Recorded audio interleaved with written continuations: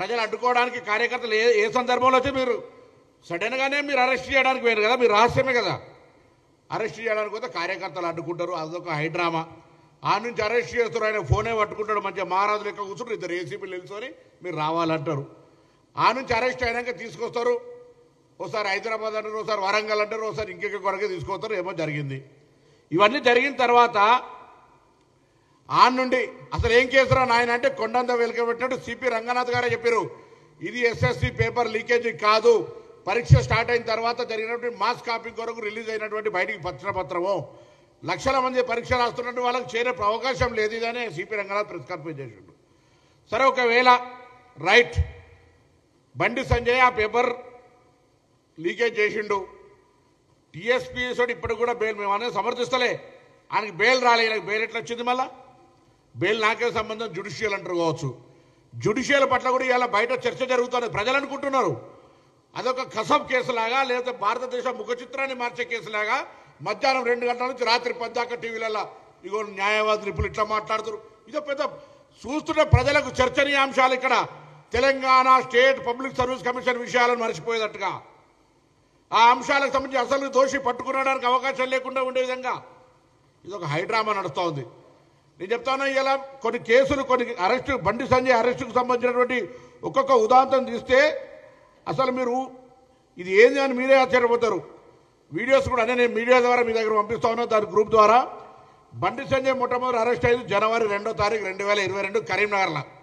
ఆయన ఇల్లు ఒక సంధ్యలు ఉంటుంది. మూడు తోవలలో నాకాబందీ చేస్తే కరీంనగర్ పోలీస్ చాలా ఎఫిషియెంట్. మేము అనేక సందర్భాల్లో చూసినాం. మూడు దాగాల పికెట్ పెడితే ఒకడు మనిషి ఇంటికోడు ఒకడు బయటికి రాడు. కానీ ఆయన ఇంటి మీద ఎటువంటి దాడి జరుగుతుంది? వాటర్ క్యాన్లు తీసుకుపోతారు కిటికీలు తవ్వుతారు కొండంగా వెలకని పట్టాడు ఆయన పట్టుకొని అరెస్ట్ చేస్తారు. ఏమైంది మళ్ళీ ఇచ్చిపెట్టారు అది ఎందుకు పరిస్థితి? ఆనాడు పరిస్థితి అంటే అప్పటికే కొద్ది ఒక నెల ముందు బండి సంజయ్ నియోజకవర్గం లోపల హుజురాబాద్ ఎన్నికల లోపల ఈటల రాజేందర్ గెలిచిండు. ఈటల రాజేందర్ పద్మారావు గారు కూతురు పెళ్ళి పోతే పద్మారావు కూతురు పెళ్ళిలో ఈటల రాజేందర్ జిందాబాద్ అంటుంటే కేటీఆర్ ఎవరు పట్టించుకోకపోతే ఈటల రాజేందర్ డౌన్ఫాల్ చేయాలి బండి సంజయ్ లేపకాడికి శురువైంది ఇది. అగో ఆనాడు జనవరి ఆ డేట్ తర్వాత మళ్ళీ బండి సంజయ్ గారిని మళ్ళీ జనగామలో అరెస్ట్ చేసినారు. బండి సంజయ్ గారిని జనగాం లోపల ఆగస్టు ఇరవై మూడు రెండు వేల ఇరవై రెండు నాడు అరెస్ట్ చేసినారు. పాదయాత్ర పర్మిషన్ తీసుకొని చేస్తే నువ్వే అడ్డుకొని మళ్ళీ అరెస్ట్ చేసి మళ్ళీ నువ్వే బండి పోయి ఇచ్చిపెట్టేస్తే ఏం లాభమైంది? ఎవరిని హైప్ క్రియేట్ చేయడానికి చేస్తారు ఇది? దాని తర్వాత మళ్ళీ నవంబర్ ఇరవై నాడు నిర్మల్ జిల్లాకు పోతుంటే అరెస్ట్ చేసినారు.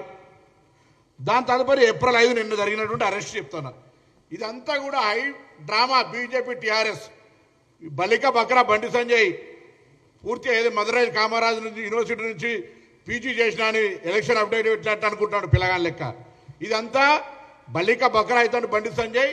ఇది అమిత్ షా కేసీఆర్ మధ్యలో రహస్య ఒప్పందం వరకు జరుగుతున్నటువంటి డ్రామా ఇది. ఇక్కడ ఏం జరుగుతుంది? భారతీయ జనతా పార్టీని టీఆర్ఎస్ పార్టీ రక్షిస్తుంది. టీఆర్ఎస్ పార్టీని భారతీయ జనతా పార్టీ రక్షించుకుంటుంది. కాంగ్రెస్ పార్టీని రాజకీయంగా బలహీనపరచడానికి కొరకు జరుగుతున్నటువంటి డ్రామా ఇది.